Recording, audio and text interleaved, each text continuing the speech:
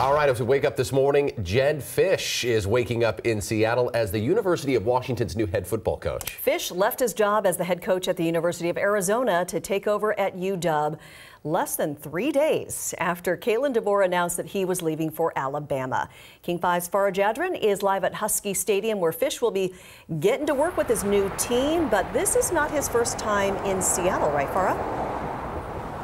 That's right, Mimi and Jake. He spent 2010 here in Seattle as the QB coach for the Seahawks under Pete Carroll, and that was Pete Carroll's first season as head coach for the Hawks. Another connection there, well, he also had Pete Carroll's son Brennan as his offensive coordinator at Arizona. So we do need a new offensive coordinator here at the UW, and perhaps there could be a Carroll coaching in Seattle after all. So stay tuned for that.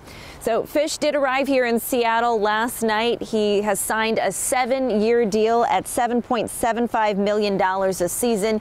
He met with UW athletics leaders and also met with some of his new players. Take a look at this. Here's a snapshot of his resume, if you will. Over 22 years, Fisch coached for 12 schools and NFL teams, including the Seahawks, Rams, and Jaguars, to name a few. He spent the last three seasons as head coach for the Arizona. Wildcats, his first gig as a head coach for a college. So he's taking over as the 31st uh, head coach here at the UW football team, but also he's the fourth coach since 2019. And it's hard to think that just a week ago they were competing for that national championship. It's certainly been a whirlwind for Husky Nation. Yeah, bit of roller coaster. Uh, yeah, a little whiplash for Husky fans for sure. Before you go, he has to put a coaching staff together. A big deal to get the staff, to get the players. The roster has been gutted. Most notably, of course, Michael Penix Jr., no longer the quarterback. What's the chances of getting a team together here quickly?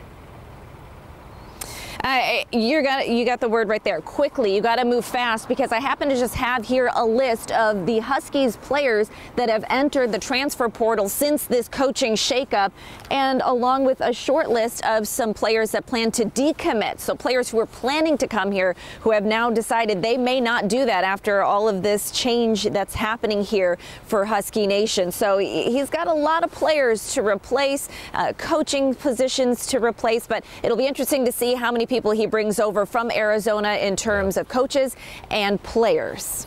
Going to be interesting. So goes the new age of football in college. All right. Thanks, my friend. We'll talk to you soon.